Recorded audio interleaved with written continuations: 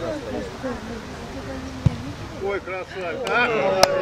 Последние матчи для нашей команды складываются по похожему сценарию. Так, неделю назад сергиевцы встречались в гостях с Большечерниговским «Восходом», и та встреча проходила при численном большинстве наших молодых футболистов. Нынешнее противостояние также началось в неравных составах. У молодежи «Звезды» возникли проблемы с тем, чтобы набрать 11 футболистов на игру. В результате стартовый свисток был дан, когда гости находились в восьмером. Это более чем значительный перевес в живой силе, а посему помышлять об атаках приезжему коллективу не приходилось. Все свое внимание они сосредоточили на сохранности своих владений. На первых порах хозяевам было непросто пройти столь мощный оборонительный редут, но с каждой минутой разрыв в классе и количестве просматривался все отчетливее. Вскоре дальний выстрел заставил голкипера «Звезды» капитулировать. Хозяева продолжали наседать, голкипер нашей команды откровенно скучал, а вот вратарю команды из Хворостянки приходилось трудиться, не покладая рук. Тем не менее, он ничего не смог поделать в середине тайма, когда с интервалом в 5 минут в его воротах побывало три мяча.